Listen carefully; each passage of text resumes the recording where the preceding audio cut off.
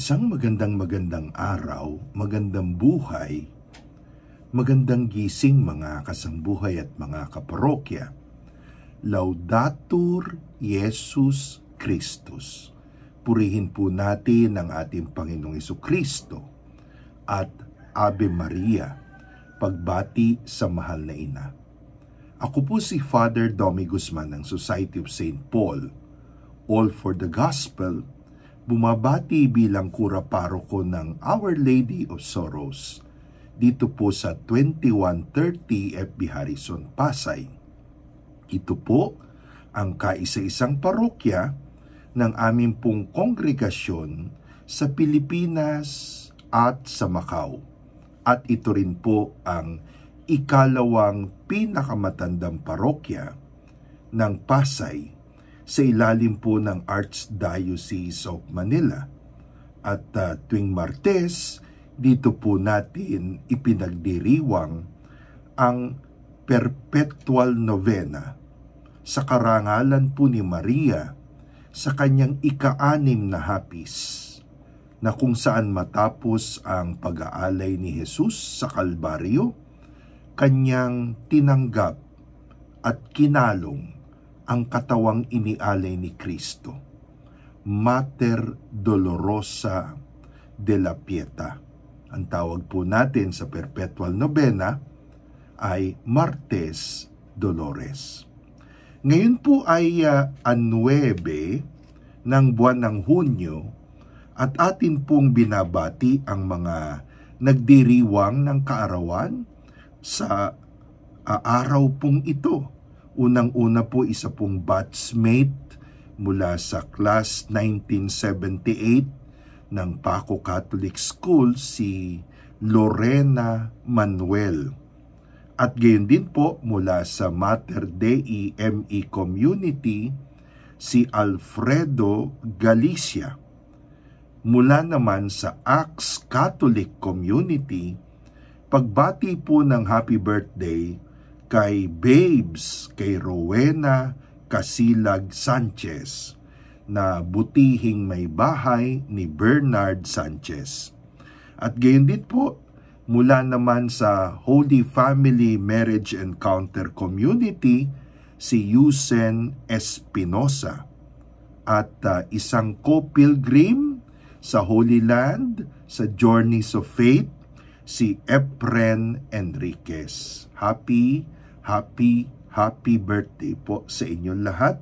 Nawa magkaroon pa kayo ng lakas, iba yung lakas, at haba ng panahon, building memories with your loved ones. Ngayon po ay uh, araw po ng uh, Webes, Webes pagkatapos po ng Pentecostes, at uh, alam nyo po, simula noong 9, uh, noong 2018 ay uh, ipinasok din sa kalendaryo ng uh, simbahan, lalo-lalo na po ng Archdiocese of Manila, ang pagdiriwang na ginaganap sa maraming lugar Thursday after Pentecost. Ito po yung kapistahan ni Jesus bilang eternal high priest. Yan. Na ang Panginoong Jesus sa kanyang pag-akyat sa langit, pagluklok sa kanan ng Ama, at uh, natapos na ang kanyang earthly mission at naipadala na niya ang Pentek sa Pentecostes ang Holy Spirit, hindi po nang, nangangahulugan na wala na pong ginagawa ang Panginoon, kung hindi eternal high priest. Patuloy niyang ipinapanalangin, inilalapit bawat isa sa atin sa kanyang mapagmahal na Ama.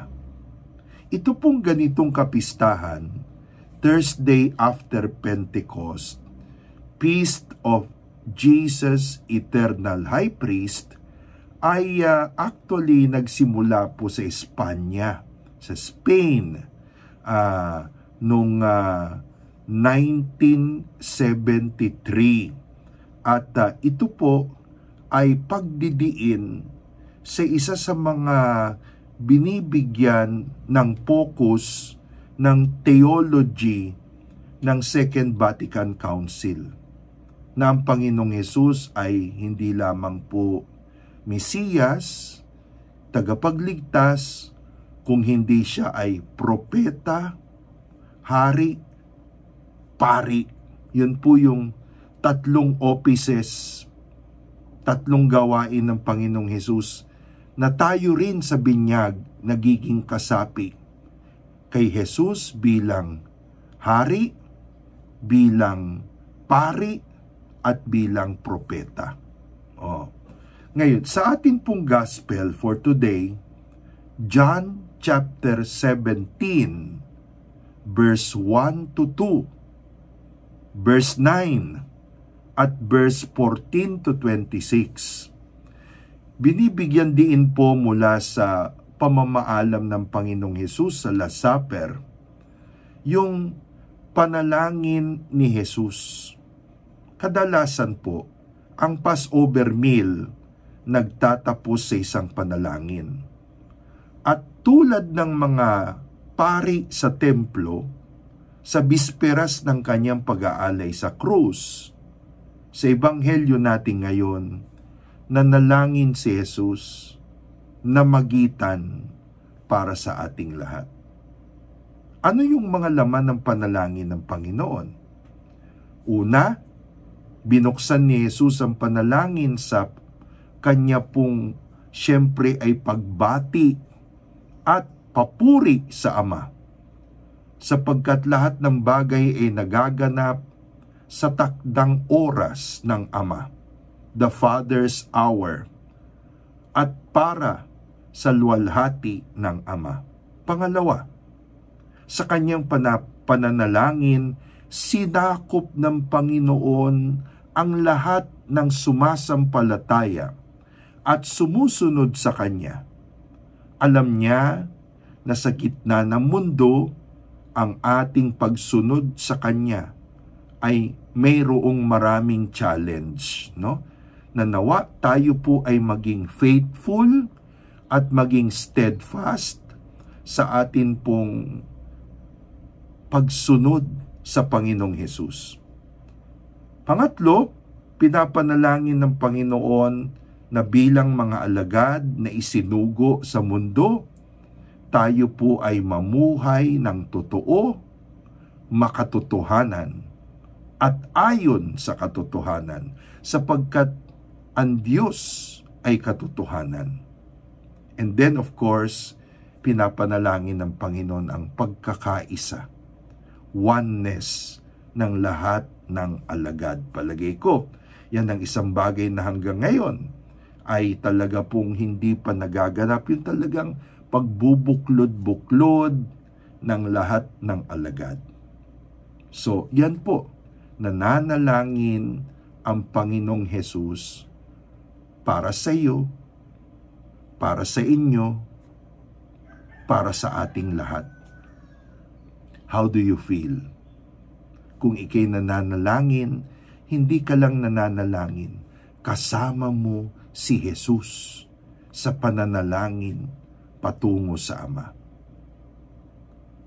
O, sana po nakapagbigay ulit tayo ng atin pong inspiration for the day, no? Hindi tayo nag-iisa, nananalangin si Jesus, siya ang ating eternal high priest sa kanan ng Ama.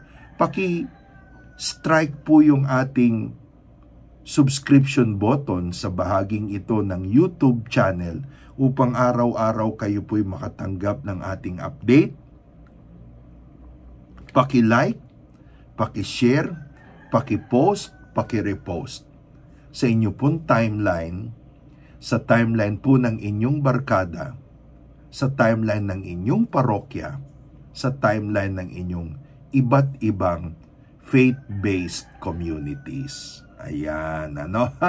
At ipakilala po natin ang ating pong uh, platforms for evangelization tuwing umaga. Sa YouTube, Domi Guzman. Sa Facebook, at sa Viber pagkagising sa umaga. Oh. Mga kapatid, para po do sa mga interesado, meron po tayong pilgrimage sa Holy Land, November 1 to 14. Ito po sa pamagitan ng Journeys of Faith Tours and Pilgrimages. Ayan. So, pakikontak lang po sila. Hanapin nyo po sa Facebook ang kanila pong Facebook page, Journeys of Faith. Ayan. At i-message po nyo si Arlina Onglao. And uh, also, if you are really blessed by the Lord, no? Salamat po sa lahat mga nagbibigay. Thank you kay uh, Sister Aida Montalvo na nag-renew ng kanyang vows sa ISF kahapon at uh, salamat sa iyong offering, Sister Aida. Sa lahat po ng nag-o-offer, God bless you. Sana po lahat kayo maging bahagi ng ating pagbuo ng atin pong karapat dapat na dambana sa mahal na ina, Mater Dolorosa de la Pieta. Eh, pakipadala po ang inyong love offering sa ating pong church renovation. Uh, i-contact po ang Paris Office sa Messenger. One word, Our Lady of Sorrows. One word, no space, dot parish. Ayan. So tayo po ngayon ay uh, syempre babati dun sa mga uh, iba pa na mga kasamahan po natin every morning yan ano? Dito po sa atin pong pagkagising sa umaga. And uh, for this time nais po nating batiin ang lahat po ng mga nakasama nating pilgrims sa Journeys of Faith pilgrimages ni na Willie, Arlina at Luigi Onglao pagbati rin sa kanilang mga office staff, no? At kay Marites na alam ko wala na sa kanila pero naging kasama natin sa maraming lakaran. Pagbati po sa spell group, ito po yung magkakaklase mula po sa La Consolacion, Caloocan, ang Sapphires at Sapphire Plus, no?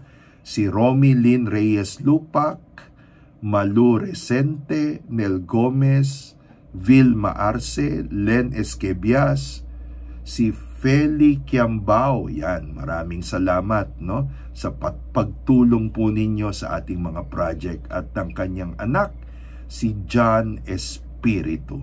Pagbati rin po sa Yellow Group of Pilgrims si Attorney Grace Lara, kasama po si Sir Jerry, si Timothy at si Zach, si Attorney Jane San Benaventura, Doktora Cora Cabral, Attorney Grace Pulido Tan at Nonoy Tan, Bell at William D., Rose Lee at Highland C. Kasama po si Chrissy, yan. Gayon din po si Mary Joyce Brillo, Geraldine Lee, Jimmy Olaso, Mr. and Mrs. Benji Datok, at Mr. and Mrs. Mario Alingalan. Hmm.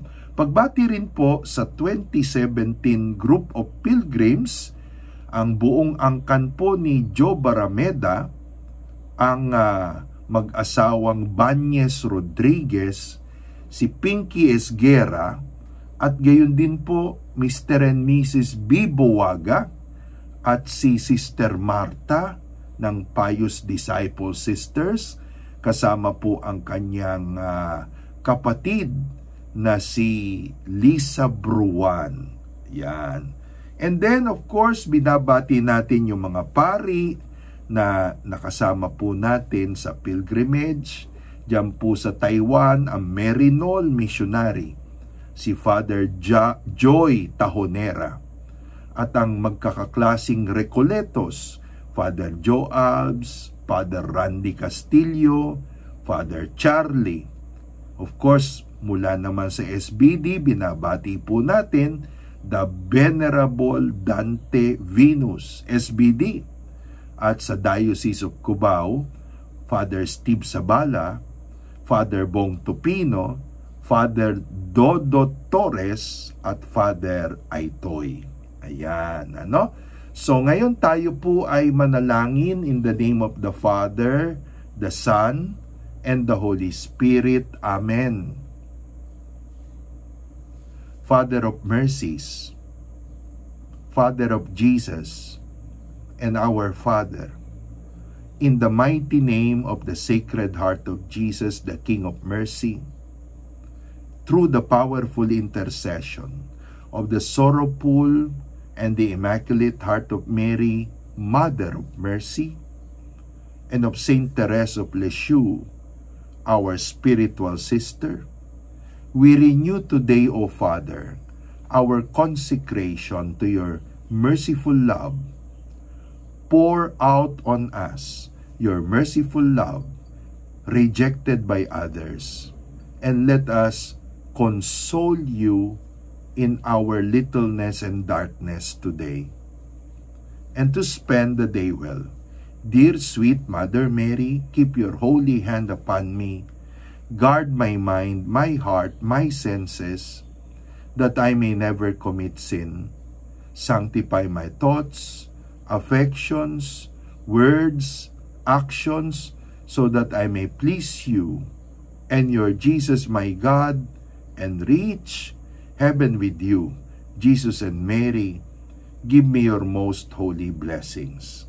In the name of the Father and the Son and the Holy Spirit. Amen. Saint Joseph, protect the Church and the Pope, protect our homes and families, protect our works and our ministries